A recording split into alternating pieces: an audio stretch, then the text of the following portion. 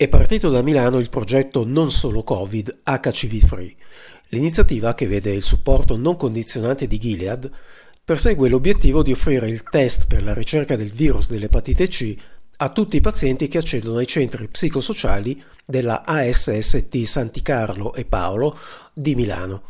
Ne parliamo con il dottor Roberto Ranieri. Dottor Ranieri, può spiegarci che risultati avete ottenuto da questo progetto?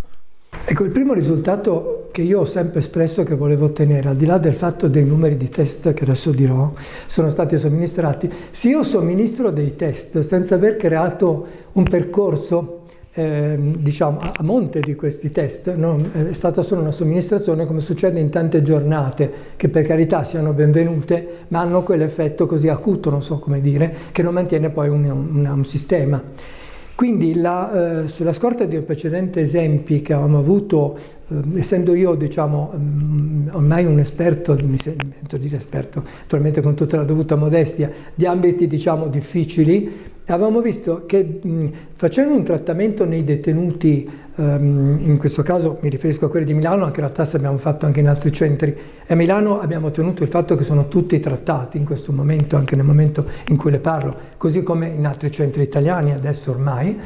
Questo fatto l'abbiamo trasposto ai servizi per le tossicodipendenze, tenendo presente che le, le utenze molto spesso purtroppo sono sovrapponibili. Da, partendo da questo modello, quindi utilizzando le stesse persone, le stesse modalità, abbiamo detto trasponiamo questo sistema a livello dei centri di salute mentale, che vuol dire prima di tutto formare gli operatori, perché come dicevo prima, gli operatori stessi non erano consapevoli dell'impatto di questa attività. Secondo luogo, formare gli utenti. Quindi abbiamo fatto questo percorso di preparazione Abbiamo preparato, ehm, nel caso nostro, eh, con l'ospedale San Paolo, abbiamo iniziato da un centro di salute mentale che era quello proprio, diciamo, anche fisicamente vicino all'ospedale, proprio per dare anche un, discorso di prossimità, preparando la coordinatrice infermieristica a questo e mh, dalla prossima settimana lei con alcuni altri colleghi che si sono resi disponibili eseguirà lei direttamente i test. Terzo, la terza parte del percorso era quello di individuare chi naturalmente non si poteva fare nei pazienti che non avevano in quel momento non erano eh, compensati dal punto di vista psichico perché sì che quello poteva costituire motivo. Quindi partendo da quelli che abitualmente frequentano il centro di salute mentale, in analogia a quello che succede in quelli che vanno a prendere e fare trattamenti metadonici nei SERD, perché c'è un'abitudine ad afferire al servizio. Tant'è vero che dopo i primi test siamo arrivati al punto che verrà effettuato settimanalmente o due volte alla settimana in quelli che afferiscono al servizio per prendere le varie terapie. E quindi noi fino a questo momento devo dire che fatto, siamo a 180 circa 200 test eseguiti, ma il problema è che sono stati eseguiti ad hoc, non so come dire, cioè una situazione che ha anche educato ehm, al di là del fatto. Ecco, devo dire che sorprendentemente ehm, non abbiamo trovato tanti positivi quanto mi sarei aspettato, perché sono 10 quelli che sono risultati positivi per gli anticorpi e soltanto 3 per il virus, mh, hm, che viremici,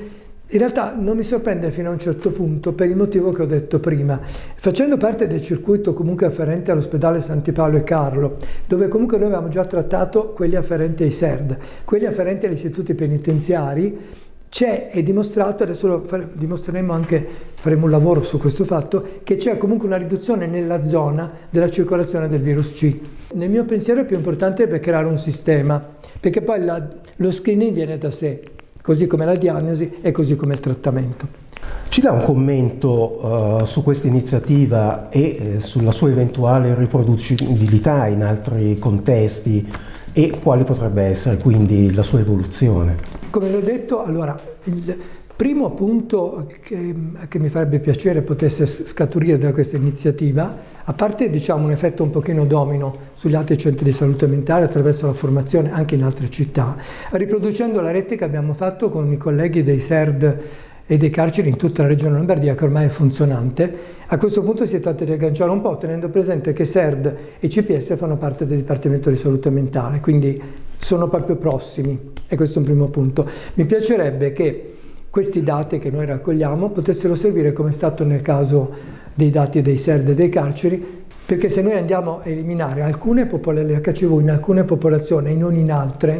anche ancora una volta manterremo mentre invece è documentato che avendolo fatto in alcune di esse già si sta riducendo la circolazione del virus. Quindi mi aspetterei questo. Eh, nel, nel caso nostro mi, noi ci sposteremo diciamo, fisicamente su altri, su altri, CPS, così come abbiamo fatto assolutamente per i SERD, in cui diciamo, predisposto all'azione in uno, ripetiamo la stessa azione anche in altri. Um, c'è un'azione anche da parte dell'ospedale di Niguarda, io sto cercando di sollecitare anche a livello sia regionale che nazionale questo tipo di intervento, che, che chiaramente non potrà essere dappertutto, eh, però se alcuni centri virtuosi in cui esiste già una rete con le carceri, con i SERD, ehm, questo fatto si potesse riprodurre. Cosa.